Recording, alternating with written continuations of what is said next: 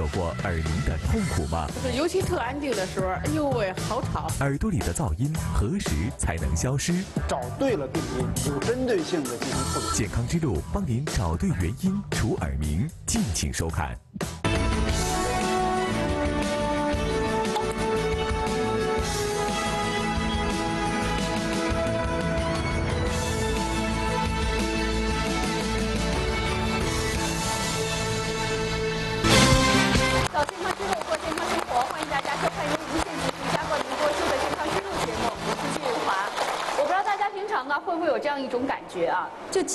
是在很安静的状态下，就这屋子里啊没有其他的噪音，但您总会觉得这哎耳边上怎么会这么吵啊？各种各样的声音，老百姓通常叫耳鸣，有没有这种情况？有的话请举手示意我，我看看有多少位观众。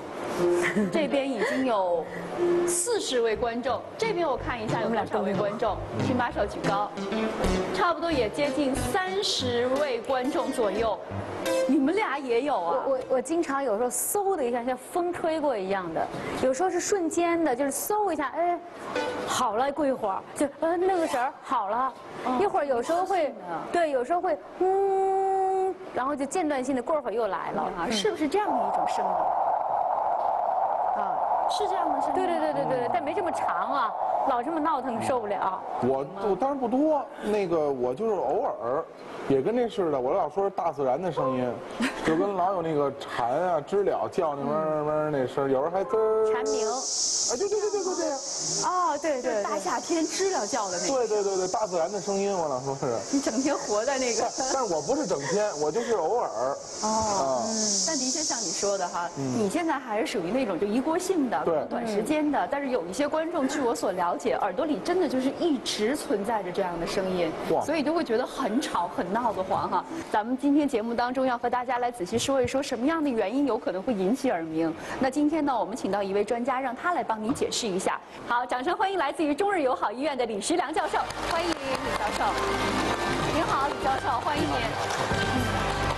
耳鸣，这个是哪里出现了什么问题呢？耳鸣的话，它主要是原因现在不是很清楚，啊，医学上来说现在没有非常公认的原因，呃，而且呢，每一个人的原因可能也不一样，嗯，这就是我们没有一个统一的方法来处理耳鸣，嗯，但是作为我们医生来说呢，只有找对了病因，有针对性的进行处理，才有可能有效。那先请您落座，待会儿慢慢给大家介绍啊。嗯。连续，你有没有发现自己会在什么样的情况下，哎，这耳鸣有可能就出现了？明显的就是，因为我不喝酒，就因为我喝完酒之后难受，好多反应，头疼、呃呕吐什么的。关键是我喝完酒这耳朵也响，而且响的还跟敲鼓似的，咚咚咚，你往那儿往那儿一躺，那心跳觉得跳的也快。哎，这倒是很奇怪哈。这个喝酒之后也会引起耳鸣吗，李教授？这种情况确实是临床上确实是有的，我们管这。种情况叫做波动性的耳鸣，啊，因为它的表现呢，就是这个耳鸣啊，它是有节奏的，嗯，而且和自己的心脏的节奏是一致的，嗯，他听到的是那种咚咚咚的声音，还是像脉冲？每一个人的描述不一样，有的人说是咚咚咚这种声音，有也有的人描述是那种就是嗡嗡嗡这种声音，哦，但是总体来讲，这种声音呢，它不会调不会很高。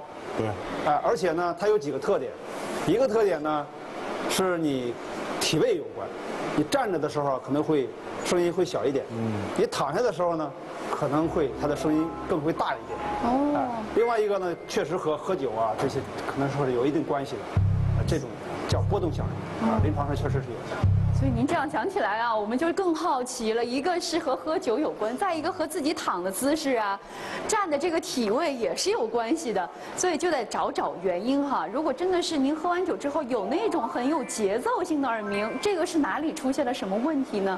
看看第一个问题啊，要找对原因。那有节奏的这种耳鸣是哪里出了问题呢？我们一定要对症治疗才行啊！是耳朵的毛病啊，还是脑子出问题啦，还是颈椎带来的呢？现场一百位观众，请表达意见。红曼，你分析一下，连续有可能是什么问题呢？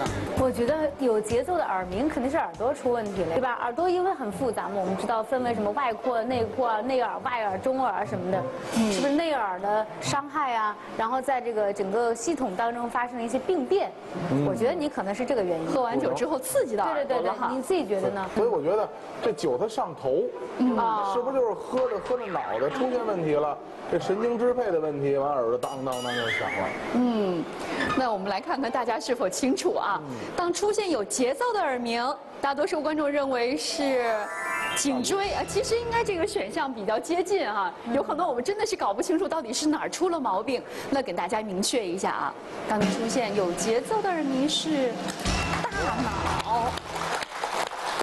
我觉得要涉及到大脑，好像这个事情就比较复杂和严重哈。究竟是大脑什么地儿出毛病啊？我们说这个大脑出毛病啊，并不是指的我们脑子里长瘤子了，或者说是呃脑血管意外了。比如说我们经常说大脑出问题，会会理解成长瘤子、脑出血、呃脑梗塞，不是这样的问题。我们说的大脑出问题呢，实际上是指的是颅内的血管出了问题。具体什么问题呢？就是说某一段那个血管啊、出现了阶段性的狭窄。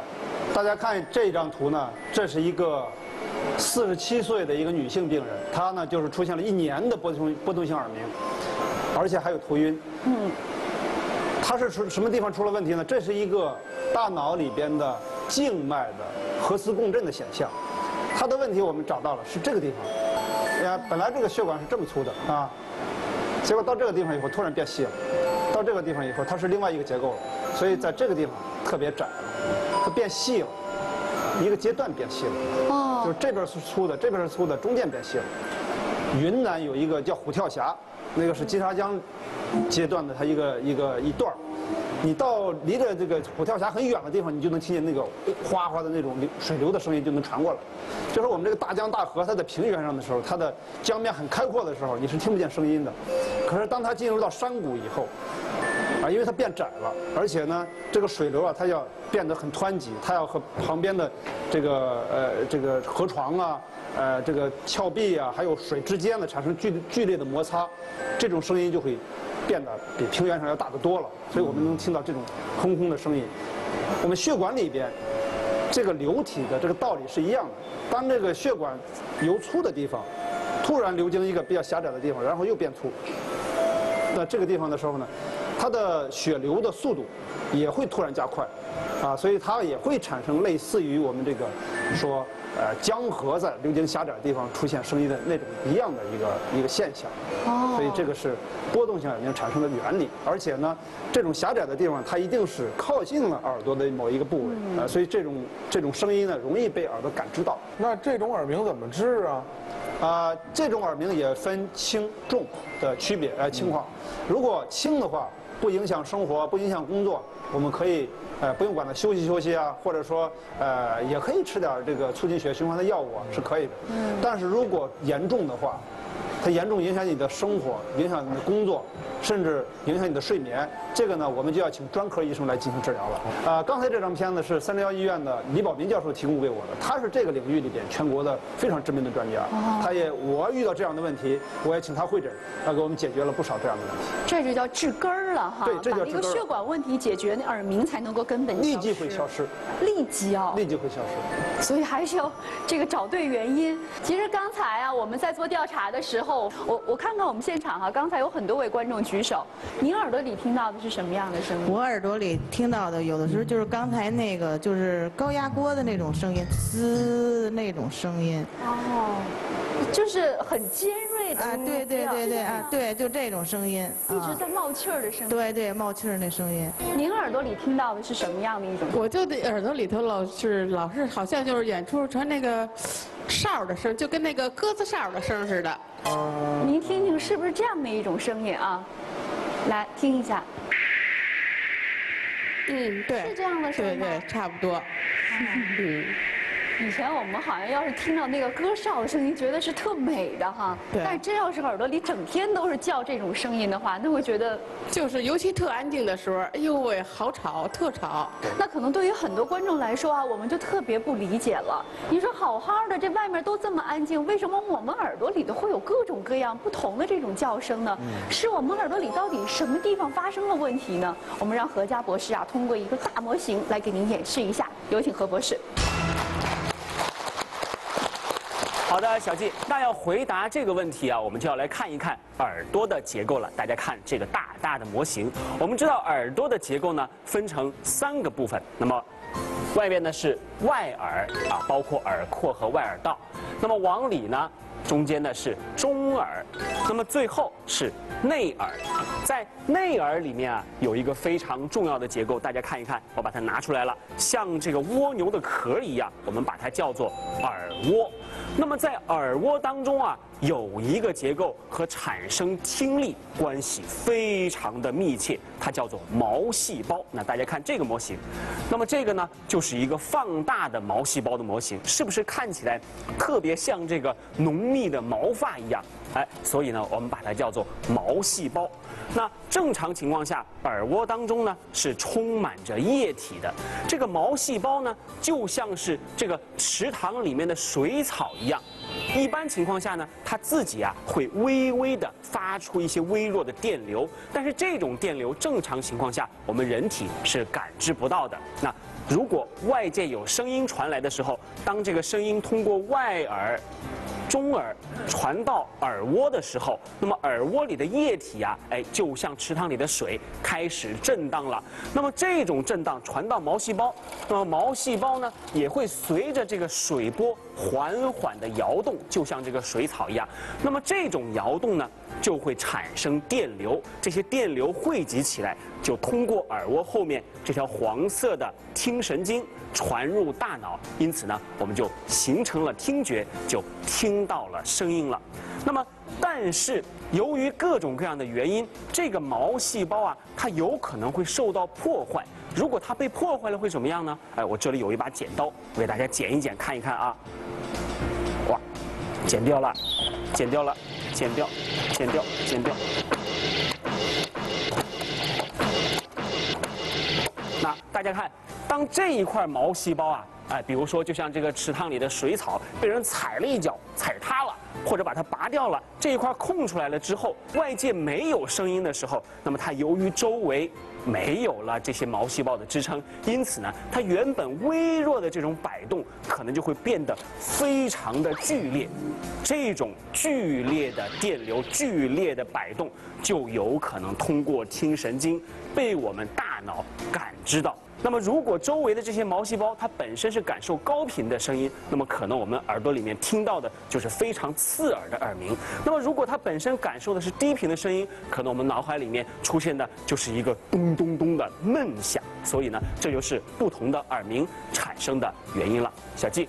好，谢谢何佳博士啊。那我想问问彭曼，刚才你形容自己耳朵里听到的是那种风声哈？对，嗖嗖的那种声音。哦，那你通常有没有发现，在什么情况下这声就出来了？就是最容易耳鸣的时候，是我有情绪的时候，比如说特别特别累、特别特别忙的时候，然后还有什么事儿气到你了，一下子气不打一处来的时候，那个情绪一下子上来了，想发火、想骂人，嗡一下子就那种感觉。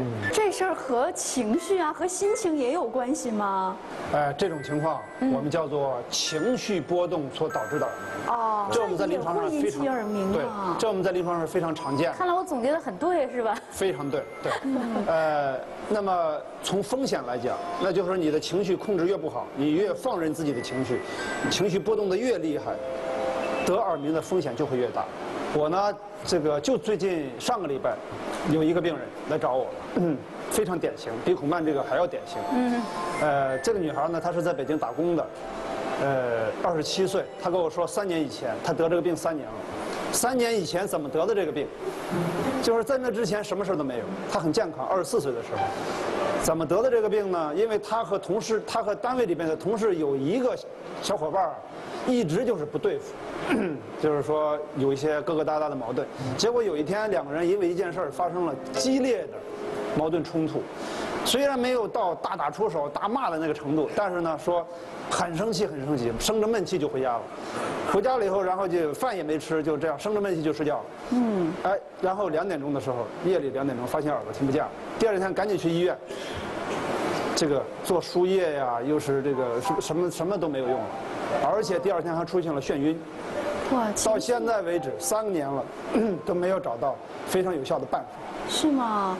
所以这就是情绪对于耳朵的这个影响还真的是蛮大的。对对对。嗯，但这毕竟还是一层表面的原因，就跟连续说喝酒会引起耳鸣一样哈。当你情绪波动特别大的时候，究竟是我们身体哪儿出了问题呢？来看下一题。当情绪波动时候引起的耳鸣，这个根本的原因又是什么呢？是神经的问题、血管的问题，还是肌肉的问题呢？现场一百位观众，请表达意见。连续，你帮着孔妈来分析一下，这回是哪说我是什么病？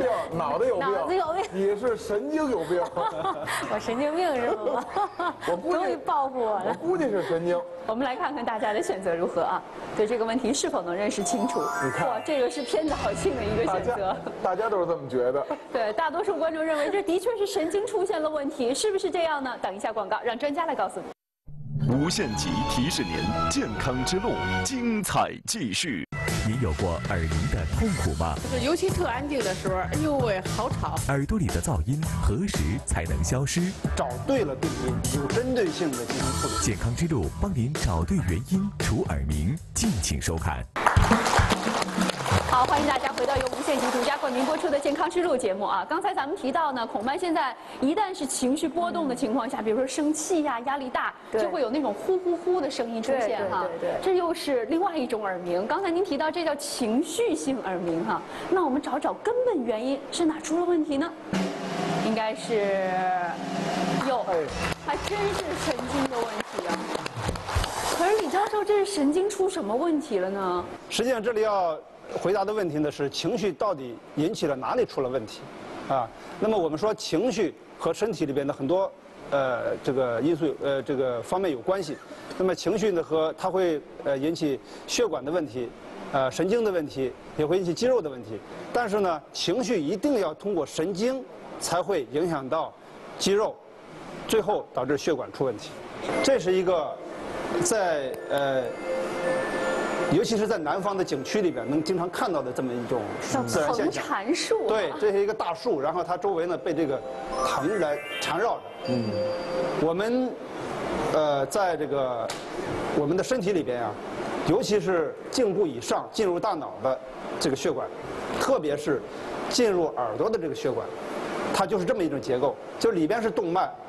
外边缠的这个糖呢，就相当于那个交感神经的神经纤维。哦。如果我们情绪在激动的时候，它会把这种激动的信号，通过这个神经纤维传递到这个血管的壁上。这个血管壁上呢，又有一层小的肌肉，那个肌肉一收缩，这个血管就会就会收缩。它一出现收缩以后呢，经过的血液不就减少了吗？哦。因为这个血管是要进入耳朵的。那么耳朵里得不到充足的血液供应，它的功能就会发生紊乱。我不生气的时候我就好了呀。我不生气，你看我现在，我看着你，我非常愉悦，对吧？来这儿还能学知识。不耳鸣了是吧？对，我我就不耳鸣了，我都不难，不保证待会儿录到下午啊，时间长了也会累了什么的。就是不耳鸣的时候，我就觉得，呃，反正能能够自己控制和平复，大家可能都这么想，没把它当回事儿。你这也是一过性的哈。对对对对对，一过性就过了，没把它当回事儿。嗯，那是不是就这种一过性的由于情绪所引起来的耳鸣，咱只要控制好情。情绪就行了，不用再去管它了呀。情绪的剧烈波动，会最终会导致耳朵的缺血。这个过程持续的话，那你的耳朵可能处在总是处在这种慢性慢性的缺血状态。啊，刚才何家呃博士讲的那个道理，大家都知道了。如果你这个耳朵处在长期的慢性缺血的状态下，那可能那个毛细胞上面那个毛，啊，可能就会逐渐逐渐的损失掉。嗯，那种这种耳鸣。这种状态，这种程度可能就会越来越重。哦，如果要是咱真想治这种由于情绪引起来的长期耳鸣，你有什么好办法吗？我们现在呢是用一种啊电针的办法，嗯，来治疗这种情况的耳鸣。啊，因为电针呢，我们使用的是一种呃具有生物电这种信号的这种电针，用通过针灸针的方式，把这种电信号导入到啊、有病的这一次的耳朵里边。哦临床上看呢，还是有一定效果的。哎，我想请教一下七十号的叔叔啊，你以前有没有听说过电针治疗啊？呃，没有。没有。嗯呃，那你想不想在现场亲身的来感受一下这个电针治疗是什么样的一种感觉？那好吧，好好我来试一试我们欢迎七十号的叔叔到台前来，也请李教授啊到台前来帮我们演示一下。通常我们在临床上做的时候呢，会在耳朵周围，还有头上，还有后脑这些部位，都要都要做啊，要扎呃不同的地方。呃，因为今天在现场，我主要是做主要的穴位就行了啊。哦，这是扎穴位吗？。对对对对，这是还是中医的穴位，哦，是拿什么扎呀？拿非常细的针，是拿针灸的那种针吗？针灸针，对对对。哦，我还以为是像就是咱们注射肌肉的那种大长针，感情不是哈，就是小细针，非常细。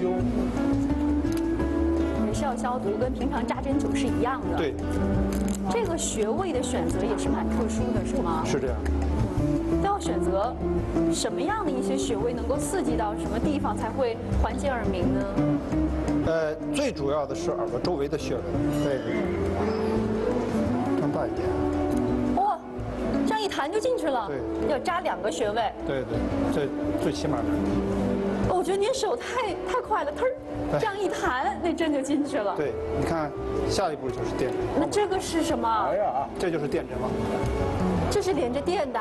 对，这个用这个鱼夹夹在针夹在针柄上。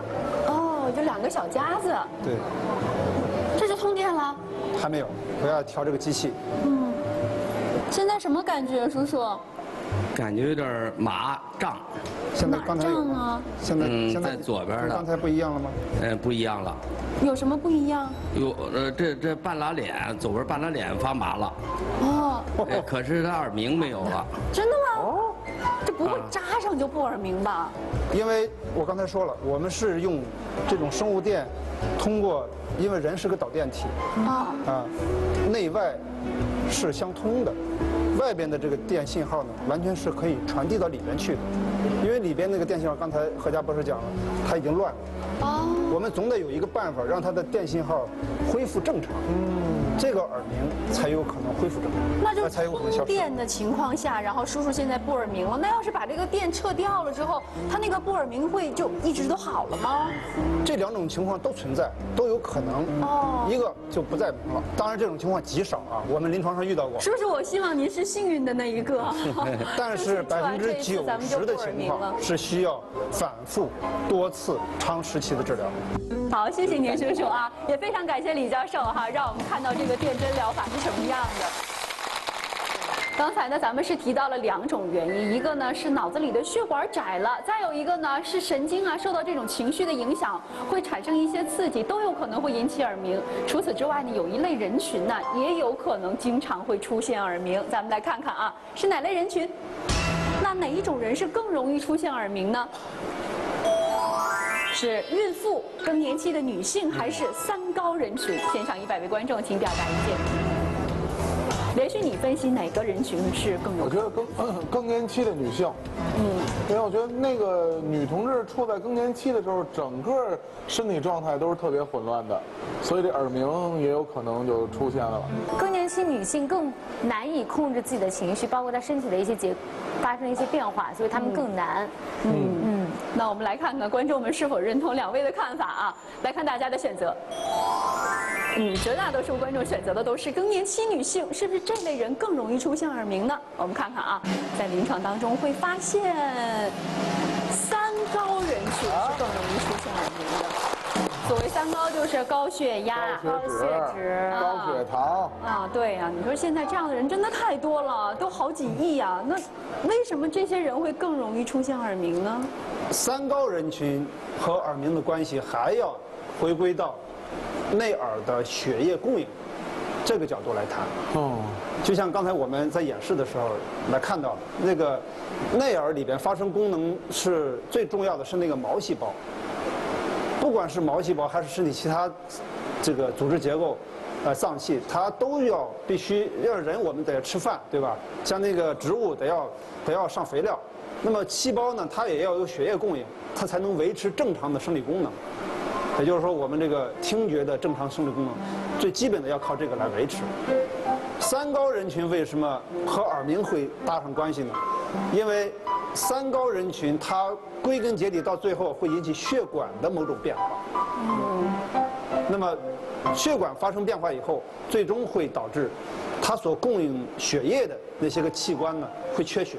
但我身边还有一部分老人，他身体也很健康，没有这种三高的症状，嗯，但是他们也会有耳鸣的现象发生，这是为什么呢？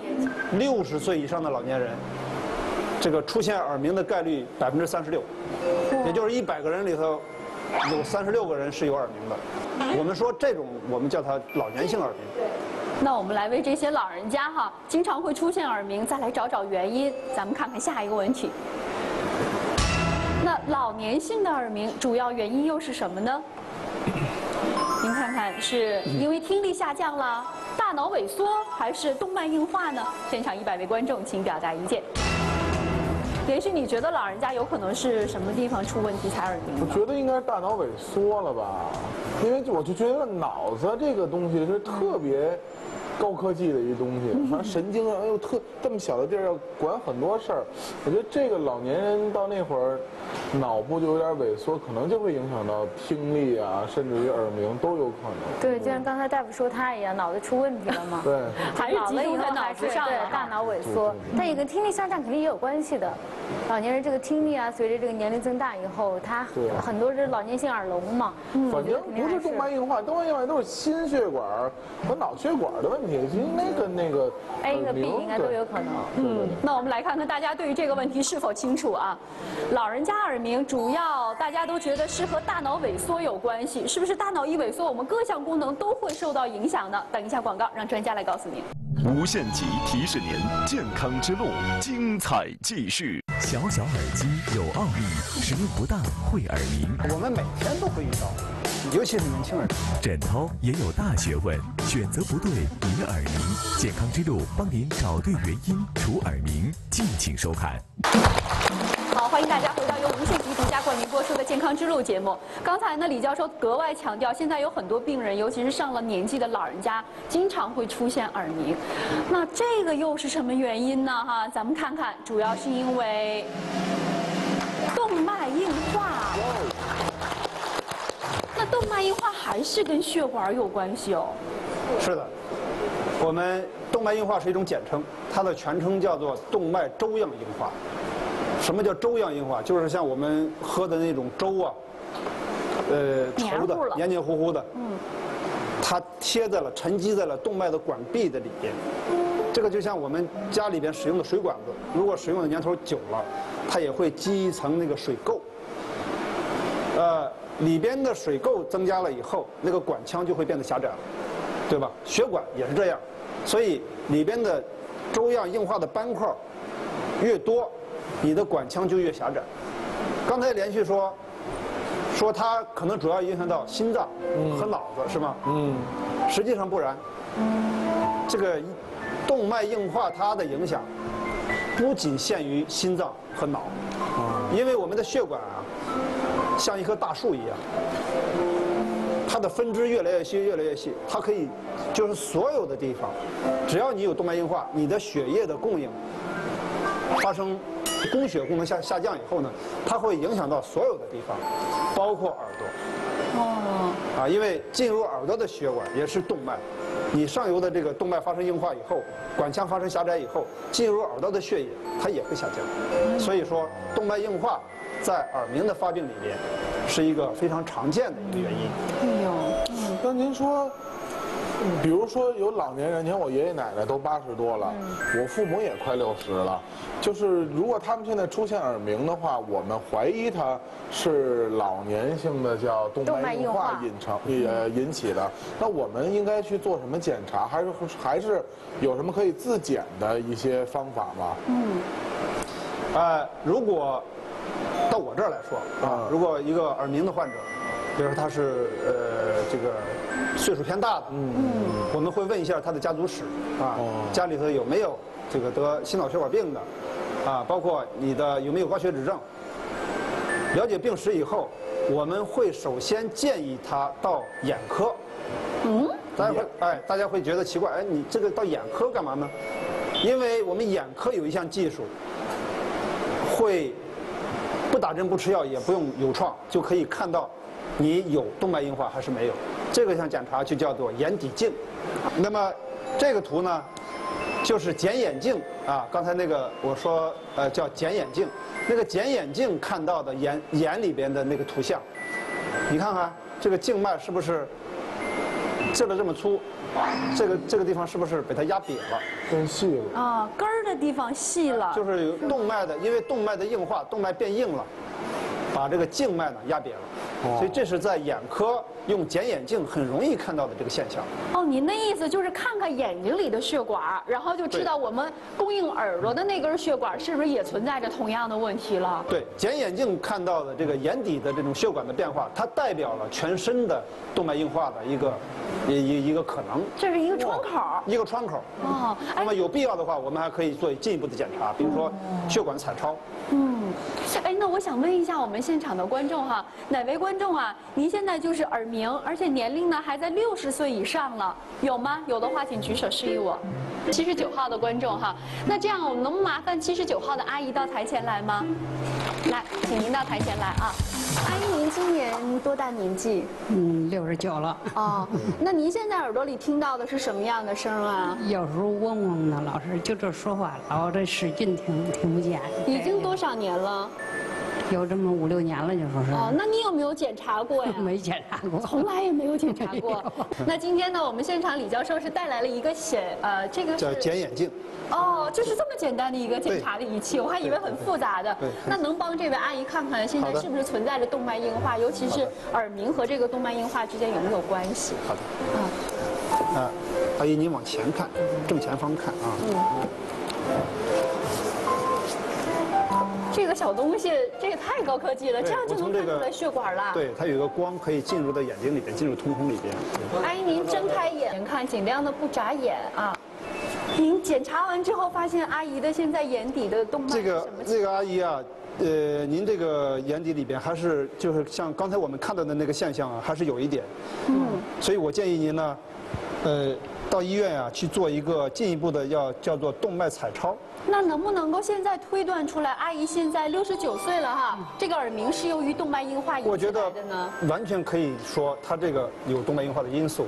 嗯，那阿姨还是要进一步检查，然后再治疗啊。好，谢谢您，阿姨啊。嗯，也谢谢李教授现场检查啊，谢谢。其实我们也建议啊，六十岁以上的老人家，如果您经常耳鸣的话，最好也到医院去做一个相关的检查，这样就能够找到直接的原因了。嗯，那如果说检查完哈，确定是因为这个动脉硬化，叫动脉硬化吧？对。如果是我们确认是这个动脉硬化引起的这个耳鸣，我想问一下大夫，我们该怎么办呢？怎么去治疗？如果是动脉硬化带来的耳鸣，这个原因确定的话，那么。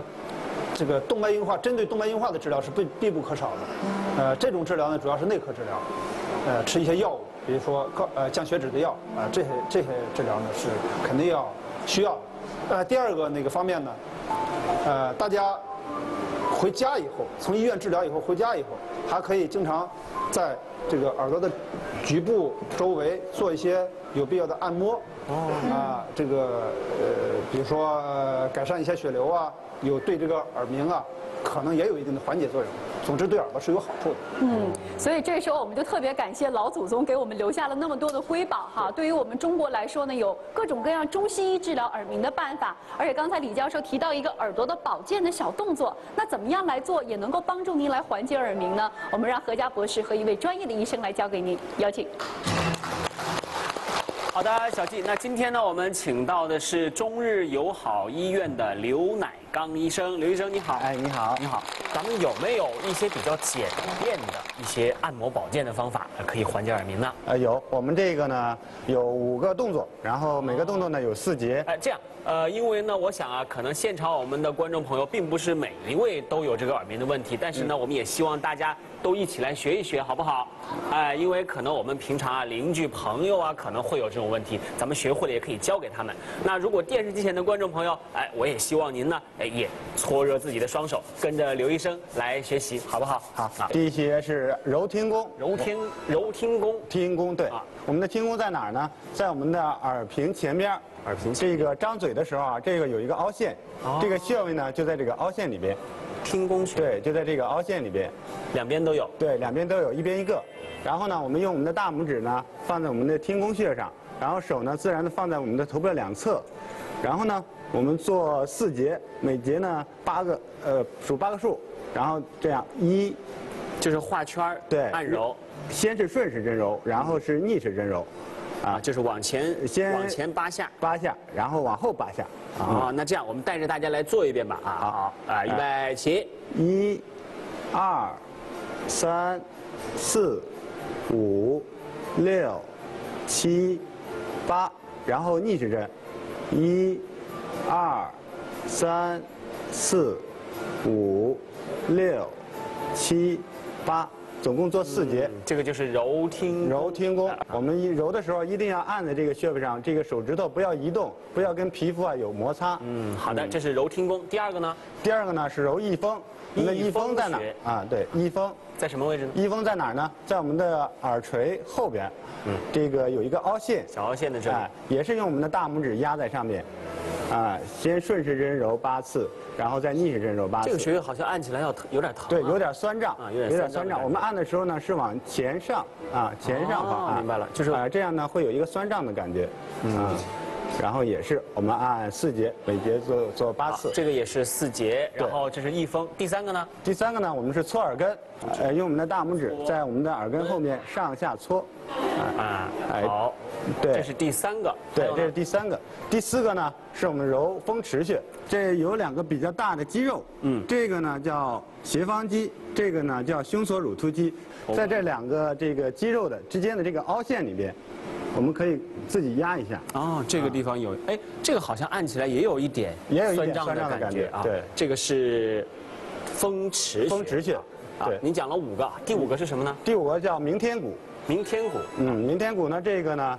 呃，是用我们的手手掌捂在我们的耳朵上，捂到耳朵，然后呢，把我们的中指啊放在我们的后脑勺上，中指放在后脑勺的位置。，对，然后用我们的食，再把我们的食指呢压在中指上，压上去。然后使劲往下弹，弹，哦弹在这个后枕部，这样就有一点嘣嘣嘣的这个感觉了。我们会听到那个嘣嘣嘣的响嗯声，这样就对了。好，那刚才这五个动作呢也比较简单。那么我们揉的时候，就是每个动作做四节四节，然后呢每节做八次，每节做八次，对两个方向对对轮流着来。好对对对那这些为什么按揉这些穴位，它可以起到缓解耳鸣的作用？从中医学讲呢，我们这几这些地方都位于我们耳朵的周围，这几个穴位呢，也都跟我们的耳朵有一个密切的联系。它的循行呢，都进入我们的耳朵里边，所以呢，它能疏通我们这个耳部的这个气血，啊。